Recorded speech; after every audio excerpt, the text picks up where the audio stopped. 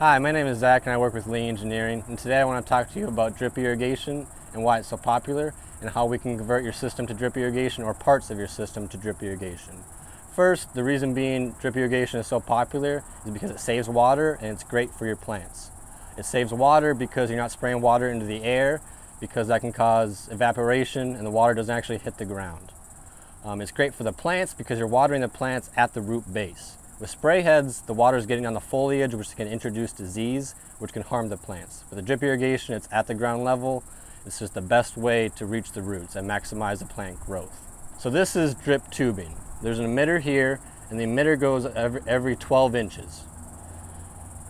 This right here is a drip valve. This is very important because if you don't have a drip valve with a pressure reducer, the drip is not going to is not going to work the way it was designed. So you got to make sure you have a drip valve installed.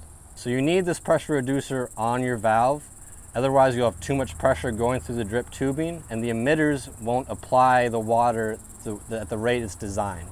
So it's going to try to shoot the water out way too fast and it's not going to be the same for each emitter.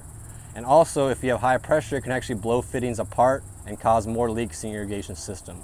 So it's a must, you have to have to have a drip valve on your, on your drip irrigation. So ultimately drip irrigation is the best way to water your plants. Feel free to just give us a call here at Lee Engineering. We'd love to answer any questions you have and put your worries at ease.